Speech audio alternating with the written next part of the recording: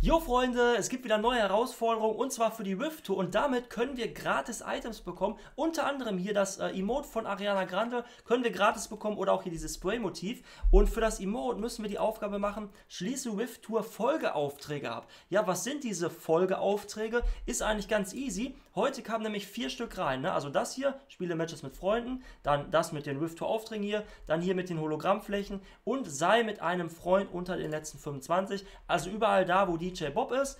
Und ähm, um diesen Auftrag hier zu machen, mit diesen Folgeaufträgen, müssen wir einfach die anderen drei hier abschließen. Also das hier mit dem Freund, dann Hologrammflächen und hier oben Matches mit Freunden spielen. Die drei müssen wir machen. Dann haben wir das automatisch mit abgeschlossen, weil das sind ja alles Folgeaufträge und so können wir das abschließen. Das Ganze könnt ihr übrigens nochmal hier bei dem Rift Tour Tab euch angucken. Da steht es auch nochmal, also die drei hier machen. Dann habt ihr das automatisch. Es kommen nochmal ein paar bald und da müssen wir auch nochmal hier äh, Rift Tour Folgeaufträge abschließen. Deswegen auch einfach alle, die ihr angezeigt bekommt, machen, um das dann hier auch in einer Woche abschließen zu können, dass ihr da auf jeden Fall auch Bescheid wisst. Ähm, ja, das zu diesem Video. Wenn es euch geholfen hat, gerne Like da lassen, gerne Abo da lassen. Bis zum nächsten Video. Haut rein und ciao.